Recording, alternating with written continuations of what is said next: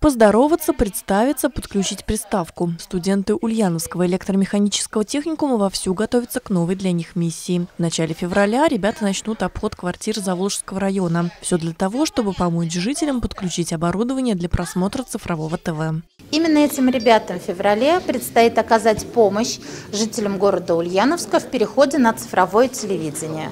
Напомним, 11 февраля Ульяновская область перейдет на цифровое вещание, поэтому подготовить свои телевизоры к цифре ульяновцам необходимо заранее. Подать заявку на подключение специальной приставки можно по телефону контакт-центра 73 79 11. После ее оформления волонтеры смогут прийти в удобное для заявителя время и оказать техническую помощь. По городу будут работать около сотни добровольцев. Все они студенты колледжа и техникумов. При себе волонтер должен будет иметь соответствующий бейдж. В администрации предупредили, что в компетенции волонтеров лишь подключение самой приставки. Остальные вопросы можно будет задать, обратившись на федеральную горячую линию по телефону 8 800 220 2002, а также на интернет-порталы rtrs.rf и смотрицифру.рф.